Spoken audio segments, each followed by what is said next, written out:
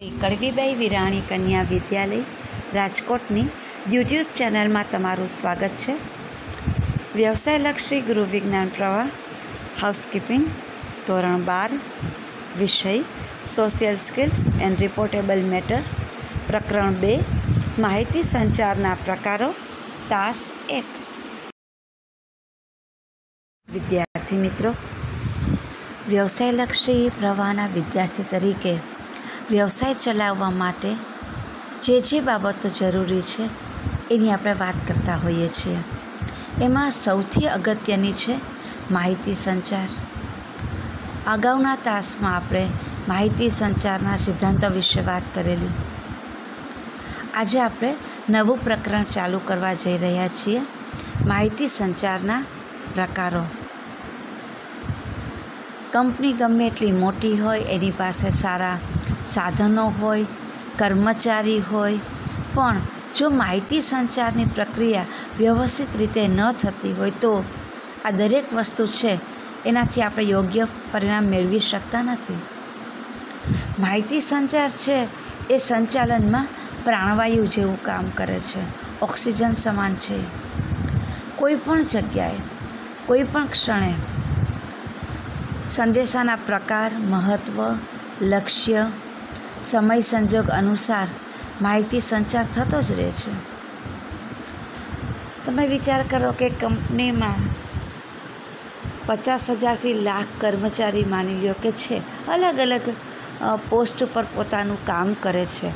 પણ એ લોકો કોઈને કોઈ રીતે કંપનીની અંદર કે કંપનીમાંથી કંપનીની બહાર કોઈને કોઈ જગ્યાએ માહિતી સંચાર કરતા જ રહેતા હોય છે. હા, એમાં આ પ્રકાર અલગ અલગ હોઈ શકે. લેખિત, મૌખિક, ઔપચારિક, અનૌપચારિક આવી ઘણી બધી વસ્તુ. સંદેશાનો પ્રકાર કયા પ્રકારનો છે? એનું મહત્ત્વ કેટલું છે? લક્ષ્ય શું છે સંદેશો આપવા પાછળનું અથવા તો માહિતી સંચાર કરવા પાછળનો? સમય શું છે? સંજોગ કેવા છે? આ બધી જ વસ્તુને ધ્યાનમાં રાખીને માહિતી સંચારના પ્રકાર છે એ નક્કી થતા હોય છે. પણ આ પ્રક્રિયા છે એ નિરંતર ચાલુ રહે છે. જ્યારે એ નિરંતર ચાલુ રહે છે, તો ક્યારે કઈ, કયા પ્રકારનો માહિતી સંચાર કરવો, એ નક્કી કરવું, એ પણ ખૂબ જરૂરી છે. તો પહેલાં આપણે એના પ્રકાર જોઈ લઈએ કે માહિતી સંચારના પ્રકારો કયા કયા છે. માહિતી સંચારનો પહેલો પ્રકાર છે મૌખિક માહિતી સંચાર અને લેખિત, કે આખા દિવસમાં આપણે મોટાભાગનો માહિતી સંચાર છે, એ સામાજિક હોય કે વ્યાવસાયિક હોય, મોટાભાગે મૌખિક કરતા હોઈએ છીએ. અને અમુક જે છે, એ જ આપણે લેખિત કરતા હોઈએ છીએ. કારણ કે જો દરેક લેખિત કરવા બેસીએ તો ખૂબ ટાઈમ લાગશે.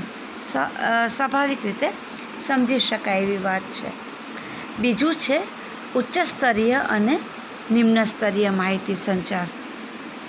અને ત્રીજું, ઔપચારિક અને અનૌપચારિક માહિતી સંચાર. આ દરેક પ્રકારના માહિતી સંચારને પોતાની ખૂબી તથા ખામી રહેલા છે. દરેકના ફાયદા છે, દરેકના ગેરફાયદા છે. તો કયા સંજોગોમાં કયા પ્રકારનો ઉપયોગ કરવો આપણા માટે વધારે યોગ્ય રહેશે? તે નિર્ણય પ્રક્રિયા માટે આપણે આગળ ચર્ચા કરીએ. સૌથી પહેલાં આપણે લેખિત અને મૌખિક માહિતી સંચાર વિશે વાત કરશું. પહેલું છે મૌખિક માહિતી સંચાર. તો એના ઘણા લાભ છે.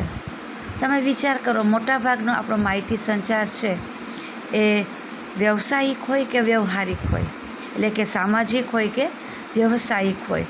પ્રોફેશનલ હોય? મોટાભાગનો મૌખિક થાય છે. જો એ દરેક લેખિત કરવા બેસીએ તો ખૂબ ટાઈમ લાગશે.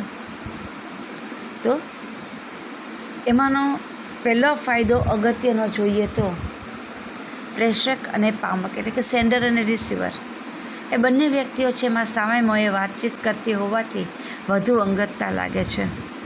આત્મીયતા લાગે છે. કારણ કે એકબીજાના હાવભાવ જોઈ શકે છે બોડી લેંગ્વેજ જોઈ શકે છે. કોણ કેટલું સમજ્યું, કોણે કયા ભાવથી શું કહ્યું, ફેર પડે છે. અત્યારે આપણે પણ આ વસ્તુને અનુભવી શકીએ છીએ. શિક્ષણ ચાલુ જ છે. પણ આપણે સામસામે નથી. હા, મૌખિક રીતે જ કરીએ છીએ આપણે. હા, દ્રશ્ય શ્રાવ્ય સાધનનો સાથે ઉપયોગ પણ કરીએ છીએ. પણ આપણને પહેલાં જેવી અંગતતામાં થોડીક હજી કચાશ લાગે છે. ધીરે ધીરે આપણે એનાથી વધારે યુઝ ટુ પણ થતા આવીએ છીએ. પણ તે ક્લાસમાં ભણતા હતા અને આ રીતે ઓનલાઈન ભણીએ છીએ, થોડો ફેર પડે. નંબર બે, તે ટૂંકાણમાં પતાવી શકાય છે. સ્વાભાવિક છે વ્યવસાયમાં અનેક કારણસર આપણે લેટર લખવા પડતા હોય છે. પણ દરેક માહિતી સંચાર કે આપણે લેટર દ્વારા કરશું તો ખૂબ વાર લાગશે. કારણ કે લેટર લખનાર વ્યક્તિને બરાબર કારણ સમજાવીએ, એ ટાઈપ કરીને મોકલે. સામેવાળી વ્યક્તિને ટાઈમ મળે, એ જોવે, સમજે, અર્થઘટન કરે, સામો જવાબ આપે, ફીડબેક મળતા વાર લાગશે. જ્યારે ફોન ઉપર વાતચીત થઈ જાય તો જલ્દી પતી જાય છે, આપણો સમય શક્તિ બચશે નંબર ત્રણ. તેમાં સંદેશાની અર્થઘટનની બાબતમાં ગેરસમજૂતી થવાનો સંભવ ઘણો ઘટી જાય છે. કારણ કે બંને પક્ષ એકબીજાને થોડો ઘણો પરિચય મેળવીને પછી વાતચીત કરે છે. મૌખિક હોય તો ટાઈમ આપણી પાસે જાજો હોય તો આપણે વ્યવસ્થિત વાતને શરૂઆતથી સમજાવી શકતા હોઈએ છીએ, જેથી હેતુ સ્પષ્ટ થાય છે. એકબીજાના હાવભાવ જોઈ શકે, બોડી લેંગ્વેજ જોઈ શકે, તો પ્રમાણમાં ફેર તો પડે જ છે.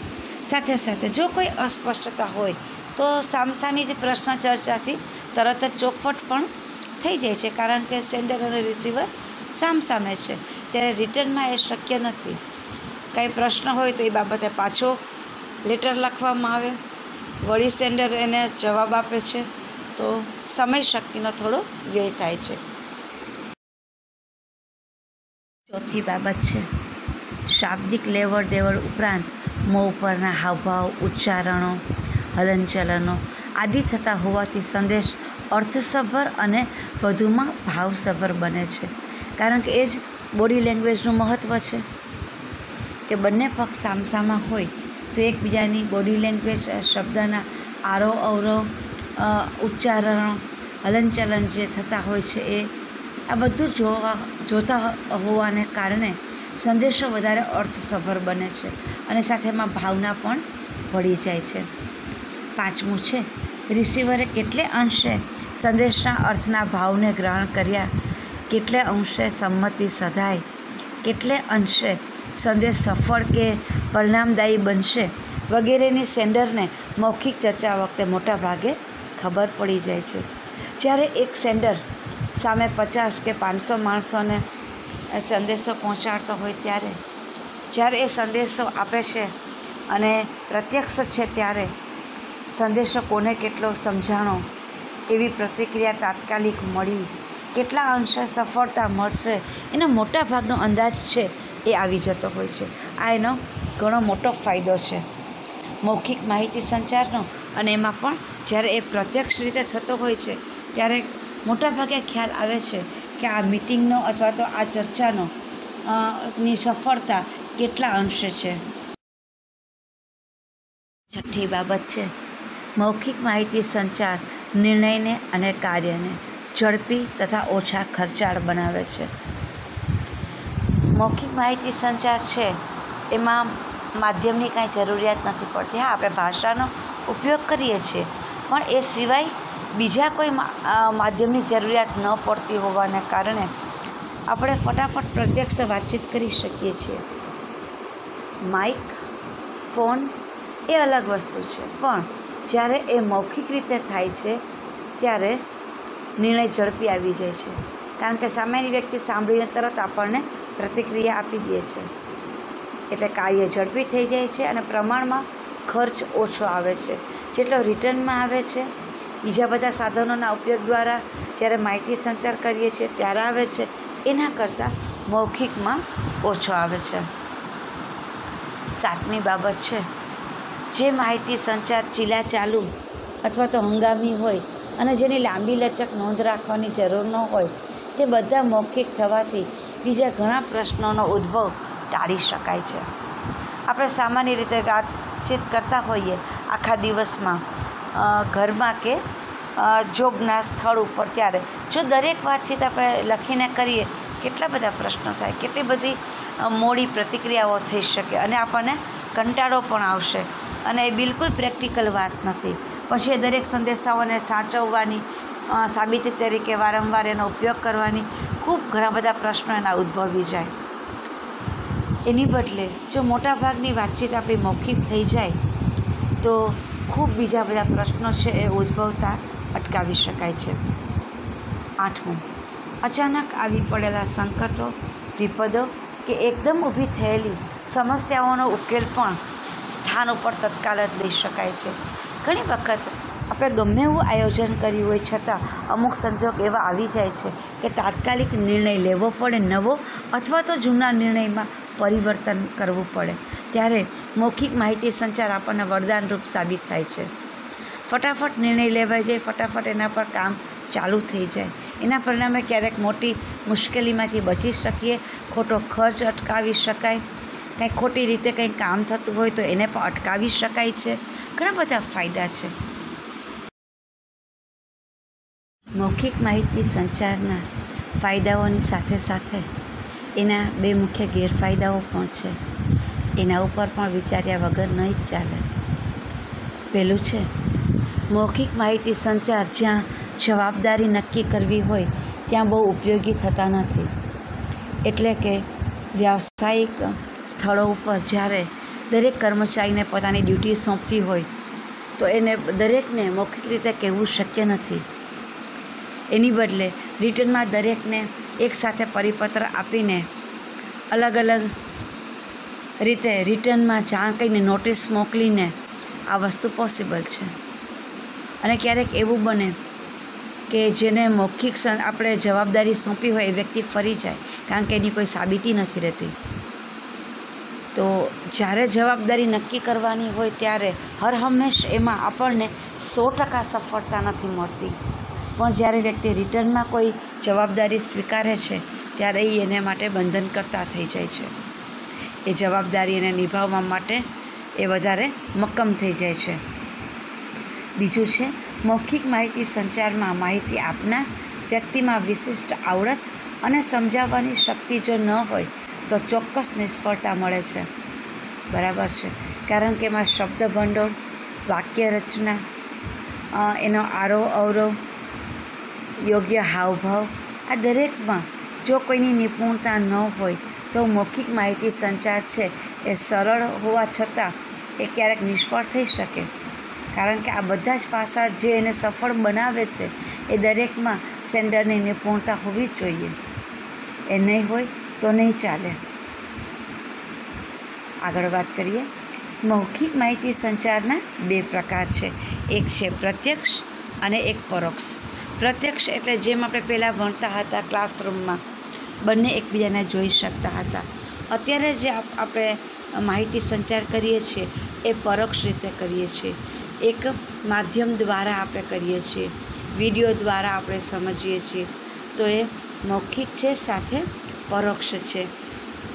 ધારો કે તમે કોઈ એક માધ્યમ દ્વારા વાત કરો છો, ફોન દ્વારા વાત કરો છો, ઇન્ટરનેટ દ્વારા કોઈ રીતે વાત કરો છો તો એ પરોક્ષ થઈ ગયું. કોઈ બીજી વ્યક્તિ દ્વારા સંદેશો મોકલાવો છો, તો એ બધા પરોક્ષમાં આવી જશે.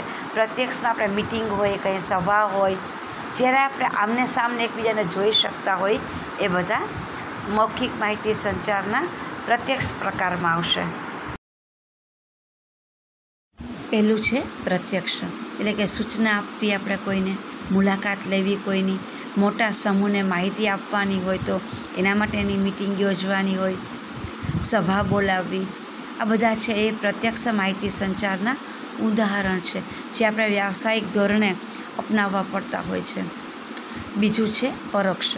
જ્યારે કોઈ યાંત્રિક સાધન વડે માહિતી આપવામાં આવે છે, ત્યારે તેને પરોક્ષ મૌખિક માહિતી સંચાર કહેવાય. દાખલા તરીકે રેડિયો દ્વારા, ટેલિફોન દ્વારા, ઇન્ટરનેટ દ્વારા માહિતીનો સંચાર થતો હોય. નાના હોય કે વિશાળ, સાદા હોય કે સંકુલ, ગમે તે તંત્રમાં એકી સાથે એટલા બધા પ્રકારોનો સંદેશ સંચાર, એટલા બધા જથ્થામાં થતો હોય છે કે તેની મોટા ભાગની પતાવટ છે એ મૌખિક વ્યવહાર સિવાય શક્ય જ ન બને. આ સહજ રીતે સ્વાભાવિક રીતે સમજી શકાય એવી વાત છે કે જ્યારે પાંચ લાખ, પંદર લાખ કર્મચારી કામ કરે છે. એકબીજા સાથે કોઈને કોઈ રીતે કનેક્ટેડ છે ત્યારે લેખિત માહિતી સંચાર શક્ય જ નથી. મોટાભાગનો છે એ મૌખિક જ થવાનો છે.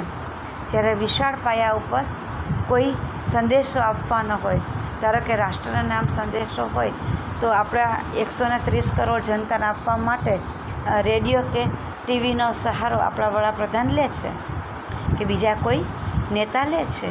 જેથી કરીને મોટી જનમેદનીને એકસાથે સંબોધિત કરી શકાય. કોઈ એક સંદેશો પહોંચાડી શકાય. પછી હવે લેખિત માહિતી સંચાર વિશે વાત કરીએ. જ્યારે કોઈ માહિતી લેખિત સાધન વડે આપવામાં આવે છે, તેને લેખિત માહિતી સંચાર કહેવામાં આવે છે. તેની પણ ખૂબી છે, તેની પણ ખામી છે. એના વિશે વાત કરીએ. સૌથી પહેલાં એના ગેરફાયદાઓ અથવા તો મર્યાદાઓ. પહેલું છે, સંદેશાને પૂરેપૂરો સ્પષ્ટતાપૂર્વક એટલે કે યોગ્ય અર્થઘટન સાથે પહોંચાડવા માટે ઘણી વિગતોનું ધ્યાન રાખવું પડે છે. તેથી, લેખિત સંદેશ સંચાર મૌખિક કરતાં વધુ સમય વેડફનાર અને ખર્ચાળ બની જાય છે. કારણ કે એમાં ઝીણામાં ઝીણી વસ્તુની ચોખવટ કરવા માટે આપણે કોઈને કોઈ વસ્તુનો આશરો લેવો પડશે પેમ્પલેટ સાથે મોકલવું પડશે, બીજી કોઈ પરિશિષ્ટ સાથે જોઈન્ટ કરવું પડે, કારણ કે તો જ રિસીવરના બધા અર્થઘટન છે એ સ્પષ્ટ થાય.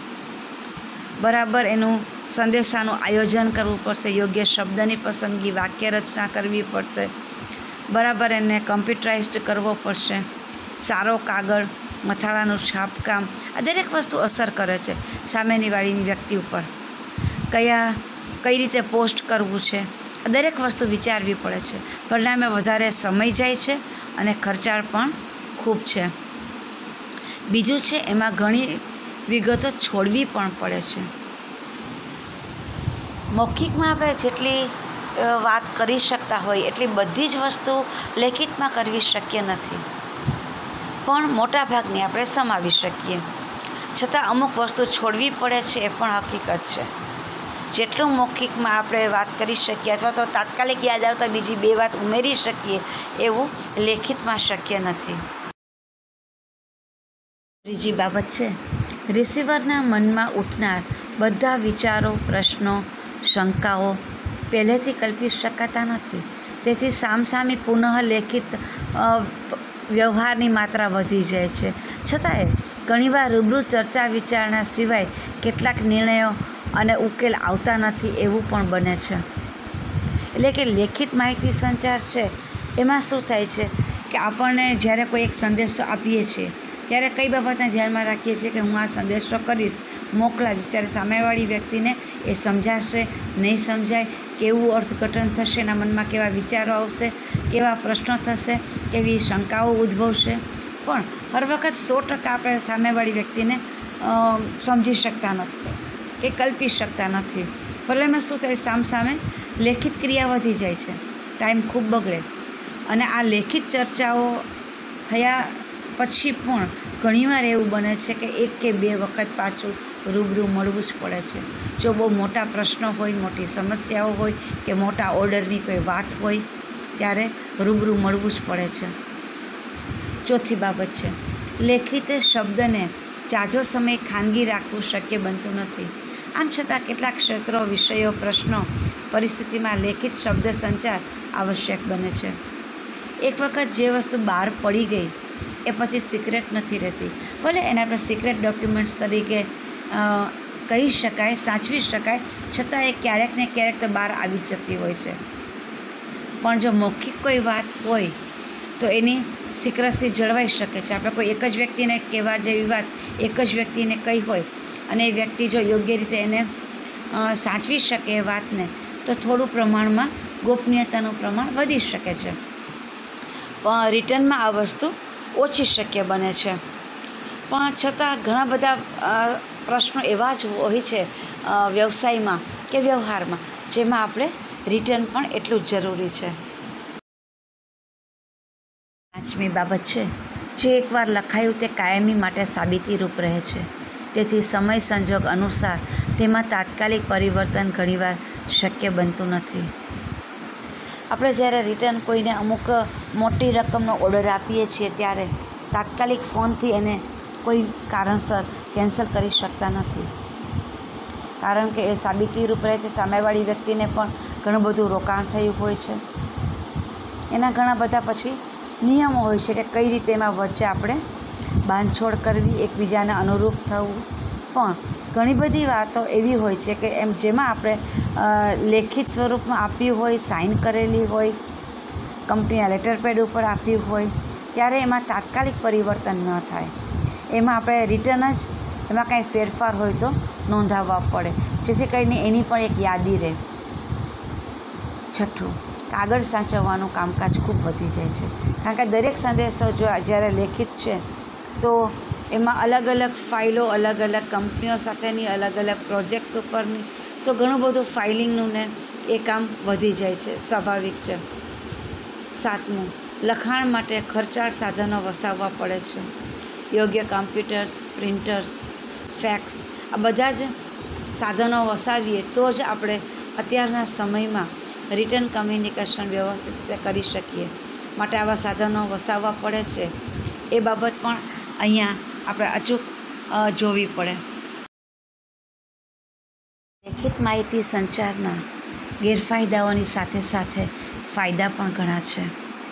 પહેલું છે, જ્યારે સેન્ડર અને રિસીવર ખૂબ જ દૂરના અંતરે હોય કે યંત્ર સહાયથી પણ મૌખિક વાતચીત ન થઈ શકે એમ હોય, ત્યારે ઉપયોગી સાબિત થાય છે. આજકાલ બિઝનેસ છે એ ગ્લોબલ થઈ ગયો છે. આખો વૈશ્વિકરણ થઈ ગયું છે એમાં પણ. તો ઘણી વખત એવું બને કે સેન્ડર અને રિસીવર છે ખૂબ દૂરના અંતરે હોય. ક્યારેક કોઈક યંત્રની પણ ખામી હોય, મૌખિક વાતચીત ન જ થઈ શકે એમ હોય, ત્યારે આપણને આ સારી પડે છે. બીજું છે, એમાં ઘણીવાર ઓછી કળાકૂટોનો સામનો કરવો પડે છે. ઘણા રિસીવર એવા હોય છે કે જેની સાથે જ્યારે પ્રત્યક્ષ વાતચીત કરીએ ત્યારે એ જવાબદારી લેવામાં આની આનાકાની કરતા હોય છે, ઘણા બહાનાઓ કાઢતા હોય છે. ઘણા બધા બીજા પ્રશ્નો ઊભા કરતા હોય છે. જ્યારે રિટર્નમાં આપી દેવામાં આવે અમુક માહિતી બધા માટે કોમનલી ત્યારે ઘણી બધી માથાકૂટનો ઓછો સામનો કરવો પડે છે.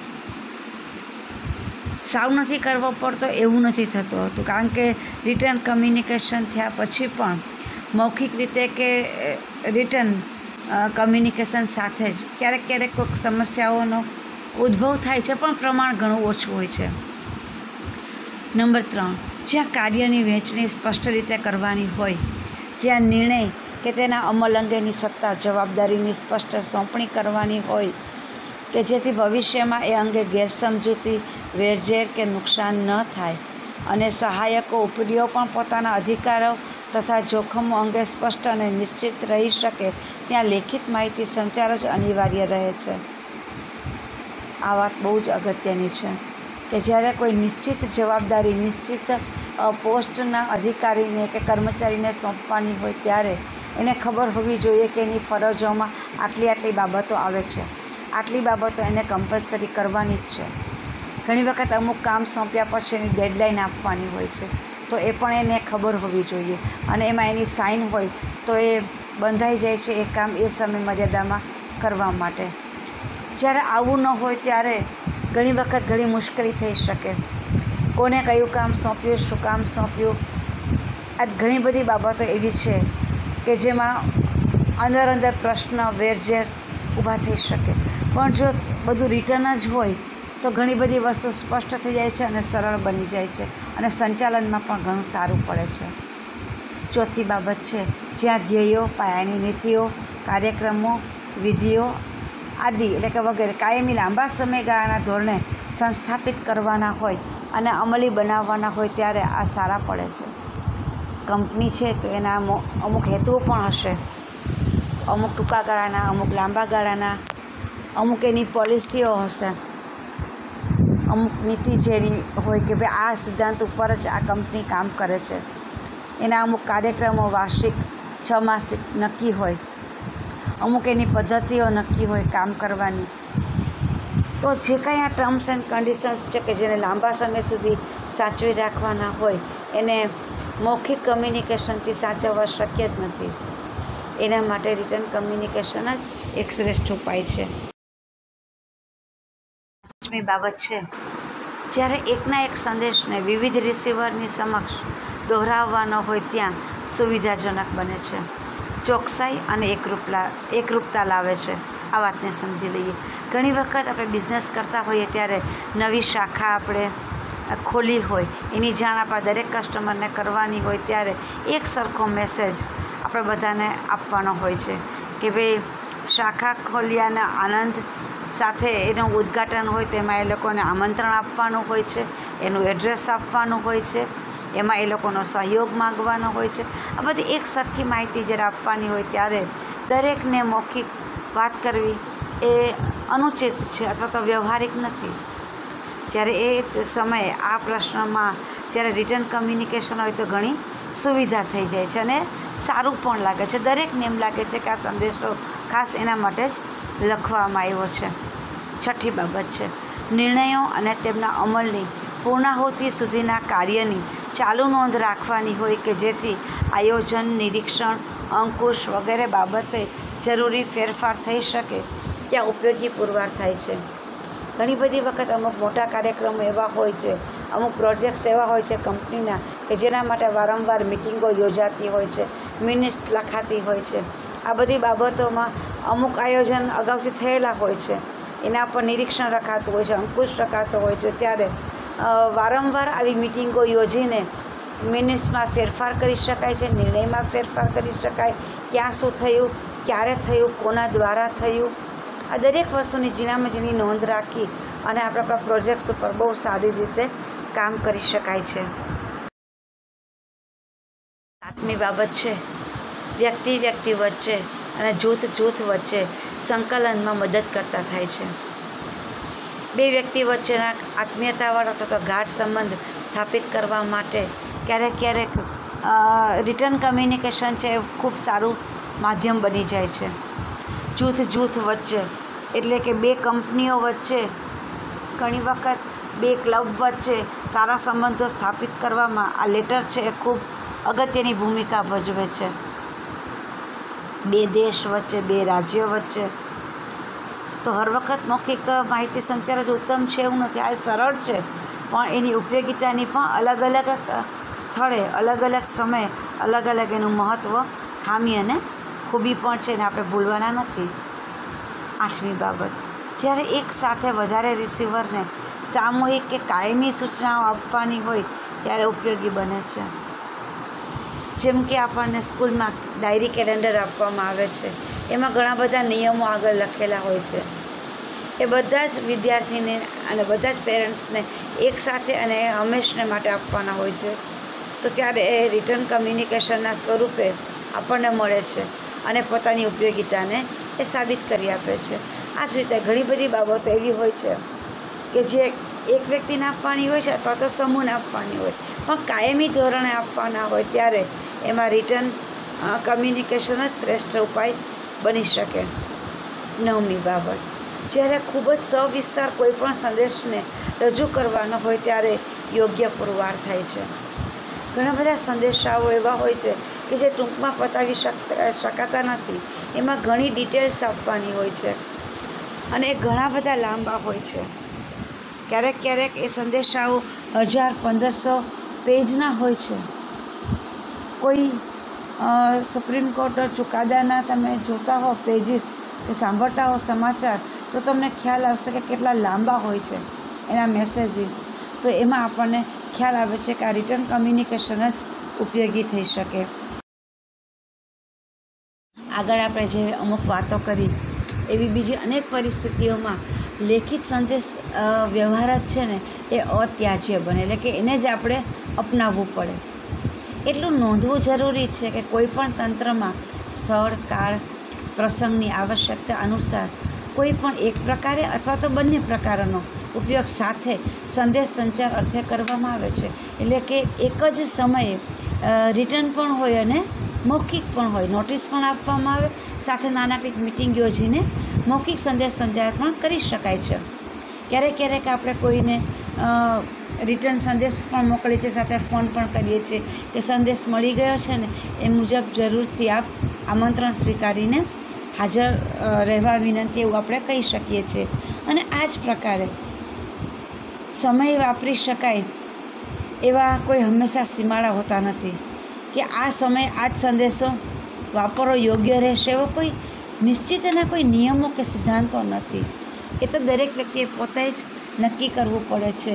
સેન્ડરે પોતે જ અથવા તો કંપનીના સંચાલકે કે કયો સંદેશો કોના દ્વારા કોને કઈ રીતે મોકલવો છે.